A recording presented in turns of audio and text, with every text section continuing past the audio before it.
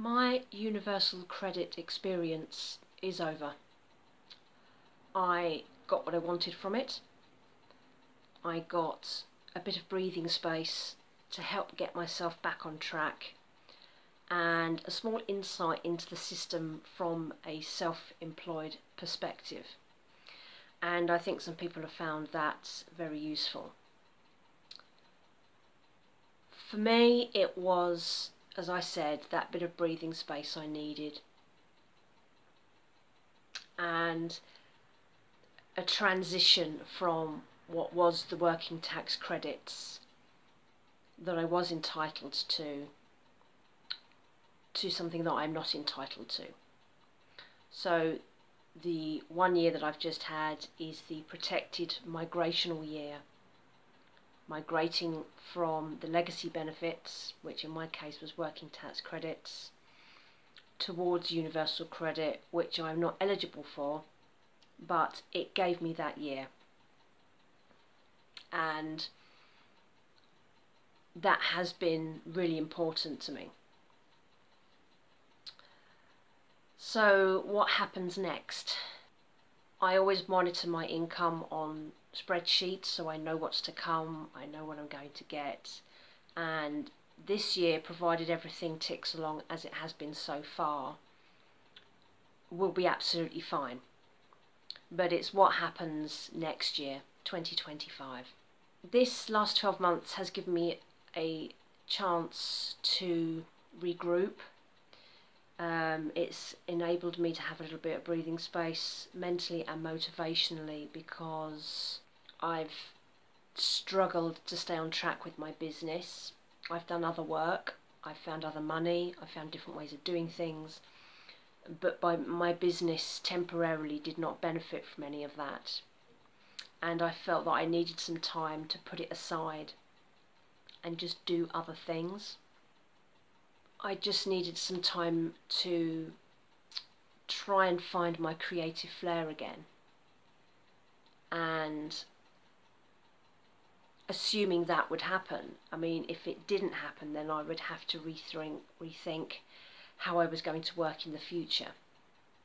But I've been lucky that over the last month or so, that creative energy has come back, and I now feel ready to, to go forward and do what I need to do to stay in business, but also still have those other little side hustles and other income streams that I have because they are all equally important.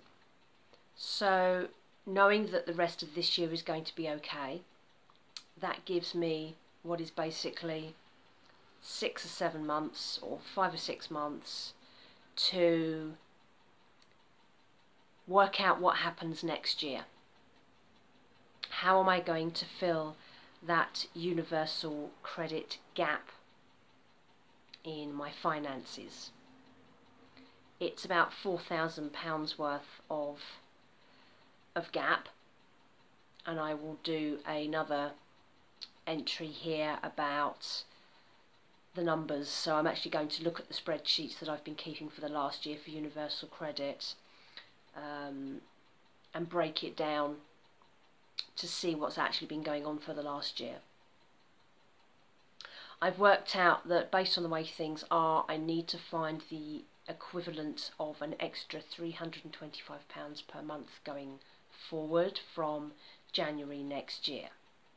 So this has galvanised me into action. I need to work hard on promoting and marketing my business now that I am feeling like I'm back where I should be.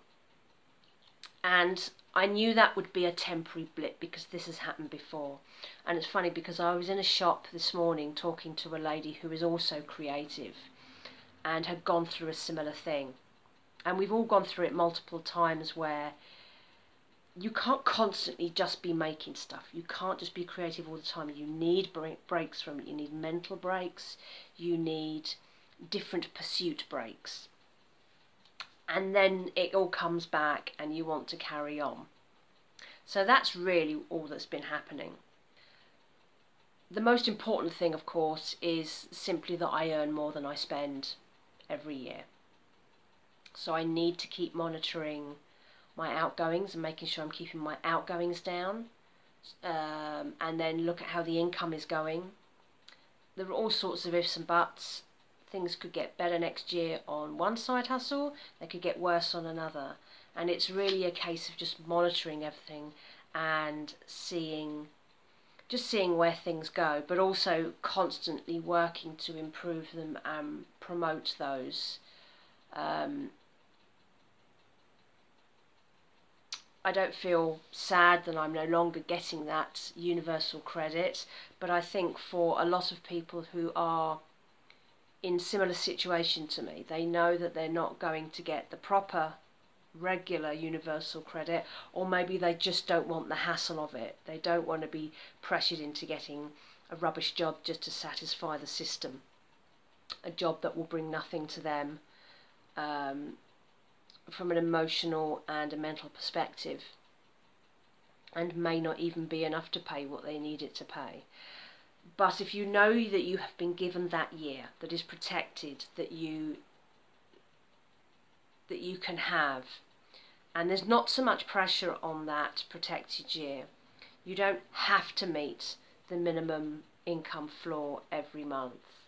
There will be bad months, there will be good ones, and as long as you can demonstrate that you are trying and that you are making improvements, then that year is yours and that will give you some space to think about what you're going to do and don't leave it to the last minute. Think about it all the way through. Right, I've got this year, I have this extra money coming in to protect me. Um, now I'm going to work hard on doing this, this, and this, or I'm going to explore doing this, or I'm going to start doing this now. And it may be that you do end up with a bunch of small income streams. But sometimes that variety is all you need. I'm not very good at routine. I get very bored very easily. I don't like doing the same thing day in, day out. So to have lots of little side hustles and little doing a little bit of that and a little bit of this and I'll go off and do that and then I'll come back and do this, that keeps me interested. So that's really, really important. So that's really where I am at the moment. This is just post end of universal credit. It's official. I am no longer a universal credit claimant. Um, I wanted to get inside the system from a self-employed basis and see what was going on and I know that it has been useful for some people so it, you know if you haven't started on that journey this will be relevant to you because they are still migrating people over. And a lot of people say, oh, it's not worth, it's not worth the hassle, it's not worth trying. And I think it was something like 28% of people who should have migrated haven't bothered because they just can't be bothered to navigate the system. I think it's worth it. As I say, I'm going to do the numbers, but I have brought in more money on universal credit than I did on working tax credits. But as I say, I will go through that and I will um, give some clarity to all that so those numbers make sense. So it's just a moment of reflection really. I can't say that I'm sad to be leaving the system. I'm quite glad to not having be having to do an extra set of spreadsheets every month because I already have two and three is just, you know, it's getting silly now. And that's it. It's over. But do watch out because there will be some, as I say, some other videos coming afterwards that just look at the numbers, a bit of reflection on what's happened for the last year and, and how useful it has been to me because it has been incredibly useful. Because as I, as I say, it's given me that breathing space to get my act together, to work out what I wanted to do, to build on what I had in a safe space with um, with additional money coming in that was enabling me to focus on those things without panicking. So think of it like that. If you're if you know you're you're going to be on that transitional year, but you're not going to get anything afterwards, that year could be really important to you. It'll give you the time to decide what it is you're going to do, to decide whether what you're already doing is enough, whether you have something to build on, or whether you need to start again. I just thought that would be an interesting addition to this playlist, which is my Universal Credit playlist. Um, thoughts and comments below if you've been on the system, what you've got from it, what you don't like about it. Um, it's a very flawed system as we know, but you work with what you've got. Um, yes, yeah, so stay in touch. Um, I may not be a claimant anymore, but if I can help, if I can, you know, put out any information that's useful, the playlist is there. So please go over and have a look if you need that help. Uh, I try to put things into lay, layman's terms and make it easier to understand than it seems to be elsewhere. So thank you for that, and I'll speak to you soon. Bye bye.